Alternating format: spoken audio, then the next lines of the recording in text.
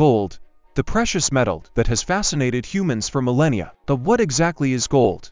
And what is it made of?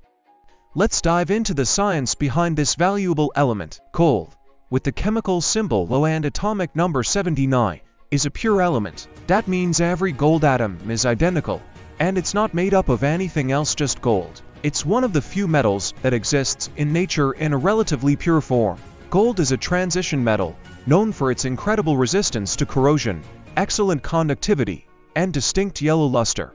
It doesn't rust or tarnish because it doesn't react easily with oxygen or water. While gold in its purest form is soft, it's often mixed with other metals to create stronger alloys. Copper gives gold a reddish hue, while silver and palladium make it appear whiter. This is why jewelry, coins, and even electronics use different gold compositions. Did you know? Gold originates from dying stars. Supernova explosions scatter heavy elements, including gold, throughout the universe. Over millions of years, these particles settled into the Earth's crust, where they formed rich deposits. Gold mining, however, has environmental consequences. Some methods cause deforestation, water pollution, and ecosystem destruction.